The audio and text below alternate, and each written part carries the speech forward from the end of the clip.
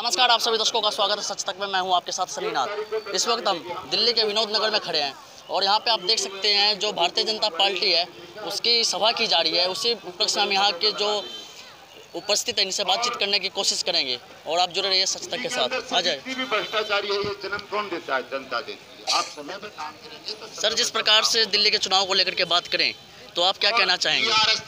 देखिए दिल्ली में जो चुनाव हो रहा है एक तरफ़ राष्ट्र को एक करने राष्ट्र को जोड़ने वाली पार्टी की चुनाव लड़ रही है और दूसरे तरफ़ राष्ट्र को तोड़ने वाली टुकड़े टुकड़े करने वाली पार्टी चुनाव लड़ रही है। तो हम सभी पूरे देशवासी जो है इस बार पुनः दिल्ली में भी राष्ट्र के जोड़ने वाली पार्टी भारतीय जनता पार्टी को उम्मीदवार को ही चुनाव जिताने जा रहे हैं और सब लोग जीत रहे हैं। जिस जिस प्रकार से बात करें केजरीवाल जी कह रहे हैं हम काम के ऊपर वोट मांग रहे हैं। तो आप इस- इसके विषय में क्या कहना है? देखिए केजरीवाल जी झूठ की पुलिंदा है।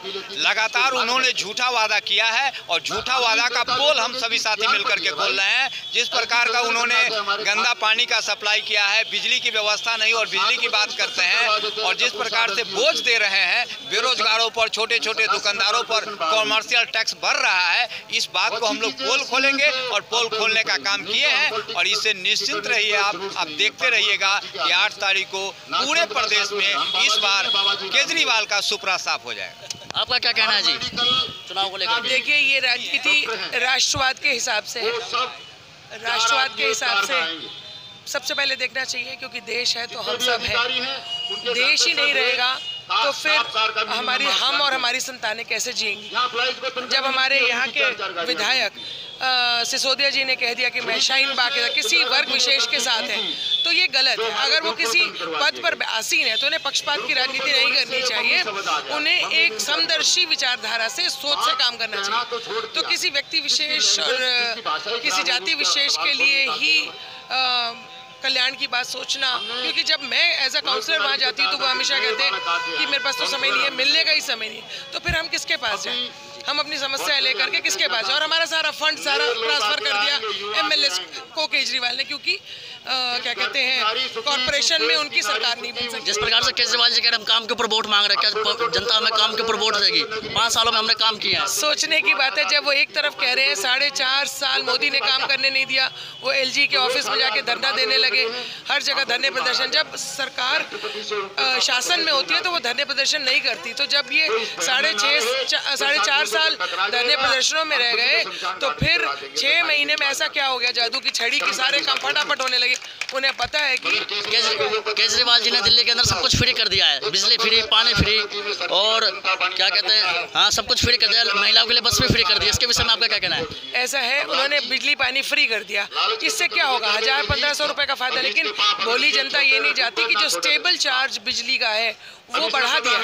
तो इस तरह से एक तरफ़ वो लूट रही है और दूसरी तरफ़ वो थोड़ी सी छूट देके लोगों को प्रलोभित करे दूसरी पानी जो है हर जगह सीवर से मिला कोई जवाब नहीं दे सकते। ये आरटीआई की रिपोर्ट आई है कि दिल्ली का पानी सबसे गंदा है। तो फिर ऐसा गंदा पानी पी करके बीमारियों में पैसे देने से अच्छा है और जनता को एक बार आदमी बुद्धू बना सकता है। काट की जो हड़िया होती है ना एक बार चढ़ती है बार बार नहीं चढ़ती।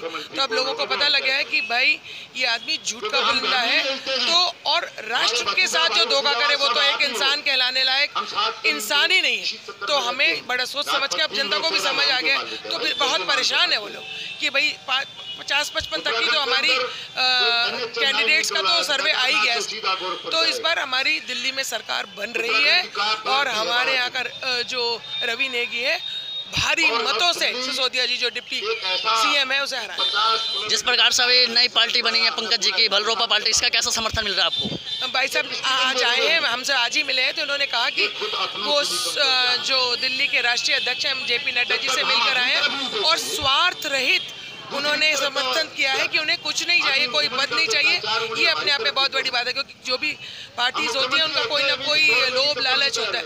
तो मैं भाई साहब का पंकज कुमार शर्मा जी का अभिवादन करूँगी उनका बहुत सम्मान करना चाहूँगी कि बिना किसी लोभ और प्रपंच के उन्होंने भारतीय जनता पार्टी जो कि देश हित के लिए राष्ट्र हित के लिए काम करती है उसको समर्थन दिया क्योंकि हर सही इंसान अच्छा इंसान राष्ट्र के साथ चलने वाली पार्टी को ही समर्थन देता है। सर आपका क्या कहना है?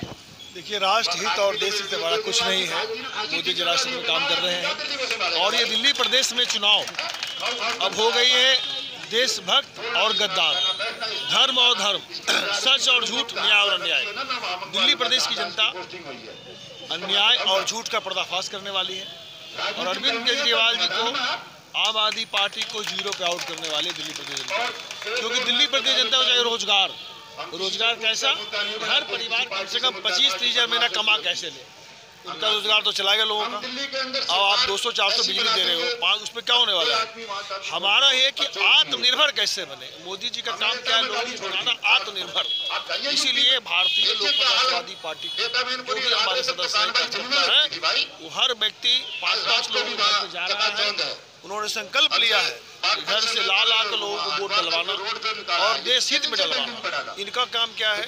देश का जो काम नेता का काम क्या होता है? सर्वव्यापी सबके लिए एक सोचना इनका क्या है? किसी के घर में कुछ हुआ?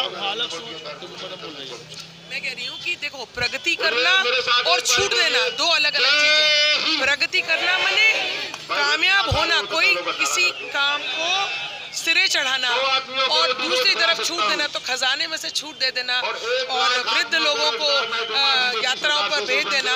ये कोई बहुत बड़ी बात नहीं है।